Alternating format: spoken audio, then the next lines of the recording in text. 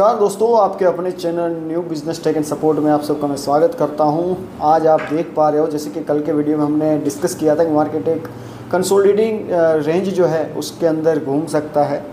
और आज की जो क्लोजिंग है बैंक निफ्टी की, इक्यावन हज़ार सात सौ साठ के आसपास यहाँ पे हो चुकी है। कल का वीडियो आपने देखा होगा तो हमने बताया था, आपको लेवल्स जो बताए थे एग्जैक्टली वहीं से ही मार्केट ने सपोर्ट लेके और वहीं से रेजिस्टेंस लेके उसी रेंज के अंदर मार्केट आज घुमा है, आप यहाँ पे देख पा रहे हो और कल के वीडियो से मैच भी कर सकते हो। पिछला वीडियो ही है। जैसे कि हमने आपको बताया छोटी सी अगर गैप अप होती है तो मार्केट सीधे नीचे आएगा सपोर्ट लेके ऊपर उठने की कोशिश करें। सेम टू सेम परिस्थिति निफ्टी की भी है। तो अब क्या हो सकता है कल के दिन मार्केट में?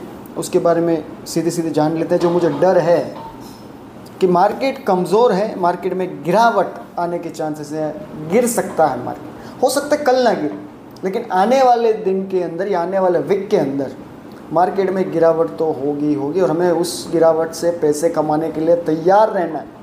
इसीलिए मैं कहता हूँ चैनल पे पहली बार आए मेरे भाई लाइक कमेंट शेयर करके चैनल को सब्सक्राइब कर दो, क्योंकि यहाँ पे ऐसे ही नोट वीडियो सबसे पहले आपको मिलेंगे मार्केट के एनालिसिस के free of cost genuine contribution okay जल्दी जल्दी सपोर्ट एंड रेजिस्टेंस कल के लिए जान लेते हैं। मार्केट जो क्लोजिंग है, इक्यावन हज़ार सात सौ साठ के आसपास होते हुए यहाँ पे मैं देखिए।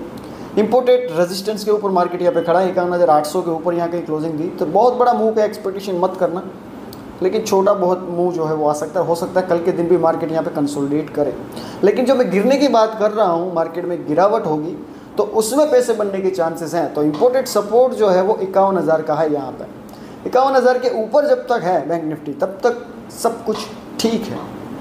लेकिन जैसे इसको ब्रेक करेगा तो मार्केट में बड़ी गिरावट आ सकती है। हो सकता है कल ना है लेकिन आने वाले वीक में ये होगा ज़रूर, ऐसा मुझे लग रहा है फ़िलहाल।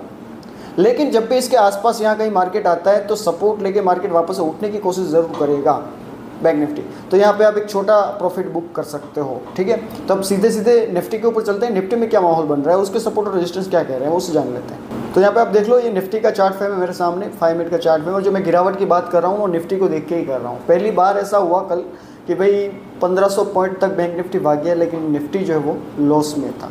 निफ्टी कमज़ोर है और कंसोलिडेट कर रहा है अपने हाई के ऊपर तो मुझे लगता है कि यहाँ से एक गिरावट तो डेफिनेटली बनेगी।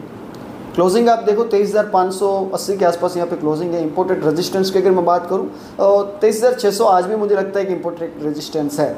और जैसे कि हमने कल के बात करी थी रेंज के बारे में, वहीं पे मार्केट घुमा। सुबह सुबह मैंने जो चार्ट डाला था ग्रुप के अंदर, आप यहाँ पे देख लो, मैं उसको दिखा देता हूँ। उसी के हिसाब से मार्केट में मूवमेंट आई है। वो मैंने पहले पहले सुबह सुबह डाल दिया था, इसीलिए कहता हूँ कि इसी तरह की लाइव मार्केट के अपडेट के लिए टेलीग्राम ग्रुप को ज्वाइन कर लिया करो मेरे भाई। नहीं किया तो लिंक आपको डिस्क्रिप्शन मिल जाएगा, जा करके टेलीग्राम ग्रुप को ज्वाइन कर लेना, बिल्कुल फ्री ऑफ़ कॉस्ट सपोर्ट की अगर मैं बात करूँ, कल के दिन में क्या हो सकता है? निफ्टी के अंदर तो इम्पोर्टेड सपोर्ट जो है वो तेईस का मुझे दिखाई।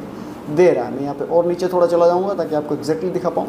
तेईस हज़ार तीन सौ, जब तक तेईस हज़ार तीन सौ के ऊपर मार्केट है डेफिनेटली मुझे लगता है कि भाई यहाँ पे सब कुछ ठीक है निफ्टी में। यहाँ पे तेईस हज़ार तीन सौ।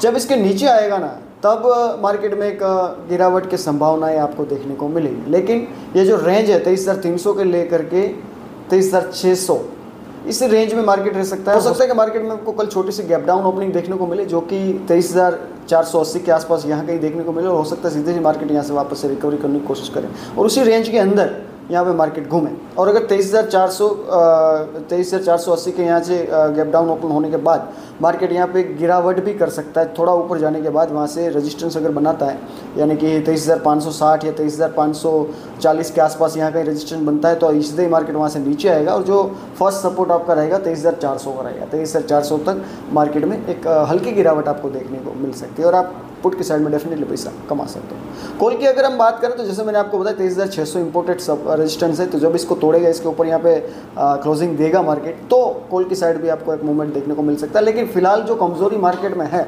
उसके हिसाब से मुझे लगता है कि इतना बड़ा मूवमेंट अभी कॉल की साइड में आने के चांसेस कम हैं। ठीक है? अभी कंसोलिडेट मार्केट करेगा। मुझे लगता है कि आने वाले वीक के अंदर मार्केट में एक गिरावट हो सकती है, जो भी होगा, उसका भी अपडेट वीडियो जो है इसी चैनल पे मैं अपडेट कर दूँगा। और उस गिरावट के साथ मेरे भाई हमें डेफिनेटली पैसा कमाना है। कोल की मूवमेंट आपके साथ में निकल गई, आपके चुनाव की मूवमेंट निकल गई, लेकिन उस मूवमेंट को आपको नहीं चूकना है। तो आपका भाई आपके साथ है, मैं जो भी अपडेट होंगे, जो भी सपोर्ट और रजिस्टेंस होंगे, आपके साथ शेयर करूँगा लेवल्स होंगे सपोर्ट करूँगा। और फ्री अपने टेलीग्राफ ग्रुप में आपको मदद भी करूँगा ट्रेड किस तरह से आप प्लान कर सकते हो ओके तो सपोर्ट एंड रेजिस्टेंस मैंने आपको बताने की कोशिश की तीन हज़ार, तेईस हज़ार तीन सौ जो है इंपोर्टेड सपोर्ट है। और बाकी कल के दिन में भी मार्केट मुझे लगता है कंसोलिडेट कर सकता है। ठीक है?